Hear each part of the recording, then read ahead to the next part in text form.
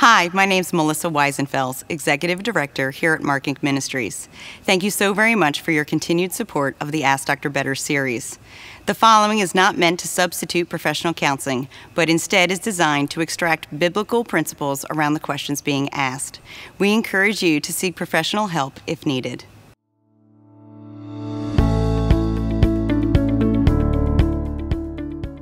Hi, I'm Dr. Chuck Betters. Someone wrote to me this I listen to a lot of different pastors and feel like there are basically two main themes that I hear. They're either preaching the gospel through the lens that we need to be fighting against our sin, or they are preaching to ultimately fight for finding joy in all things. One feels like a finger pointer, the other like a cheerleader. Your videos seem to be very direct. So which is which is it? Fight for fight our sin or fight for joy? Well, it's both. It's obviously to fight for uh, joy is to fight against our sin. There is great joy in resisting the evil one. The word for joy in Scripture is the word char, C H A R. It just means joy, but the root of that word, char, is also the root for the word grace, which is also the root of a word that speaks of our spiritual gifts, charismata. So let's put that all together. To have joy is to exercise our gifts, and to exercise our gifts is to have great joy. There ought to be joy in the exercise of our spiritual gifts. But all of it is of grace. God gives us those gifts to resist evil. He gives us those gifts to experience great joy. So it's not one or the other, it's both and. We are to fight our sin. It is a warfare. Uh, in fact, when we go to the book of James, chapter 4, beginning with, uh, with verse 6, it says that God opposes the proud, but gives grace to the humble. Submit yourselves, therefore, to God. Now, how do we do that? To submit yourself to God. How do we submit ourselves to God? He then explains in the next verse resist the devil. That's number one. Resist evil, resist the temptations, and he will flee from you. Well, how do you resist the temptations? How do you fight the devil? How do you fight against evil? He tells us in the next verse draw near to God he will draw near to you. So the closer we grow in our relationship to God, and the more Satan sees the God of the Bible in us, the more he cowers away because fundamentally Satan is a bully. And when he sees the strength of the Lord as our strength, he backs away. We resist the devil by drawing near to God. Well, how do we do that?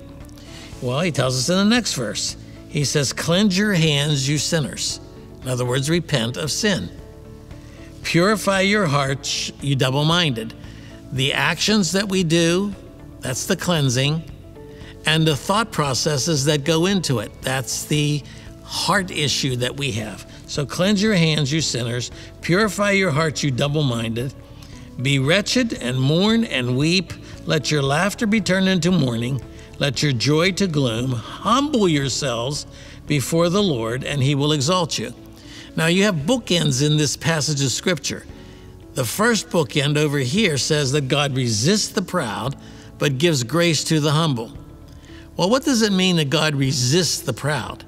The word resist there means to treat as an enemy.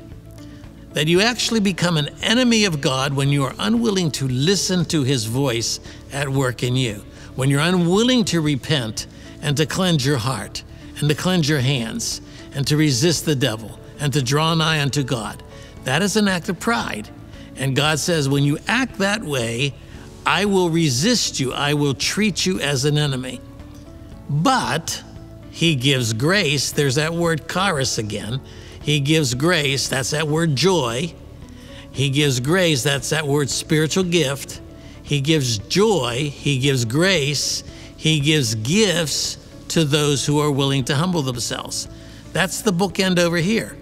At the end of the passage, he, he closes it this way He says, Humble yourselves before the Lord, and He will exalt you. That is that spirit of worship that we get when we understand that God has done a work in us. He is working in, in our souls in a way that maybe is a little painful at times. But nonetheless, it is the Spirit of God working in us to convict us of sin, to convict us of righteousness, to draw us near to God as we study the scriptures, as we pray, we draw nigh unto God. Satan then begins to flee. And when Satan begins to flee, we find strength. The strength of the Lord becomes more and more evident in our lives. So, to answer your question, it says one feels like a finger pointer, the other like a cheerleader. That's exactly what the way it's supposed to be. There is a sense in which the Holy Spirit will point the fingers so that we will repent, and He is the one who becomes our cheerleader. In fact, that's one word that's used of the Holy Spirit is our advocate. He pleads our case before God. He becomes our cheerleader to gain victories for us over those temptations that draw us into the pit of despair. I hope this helps.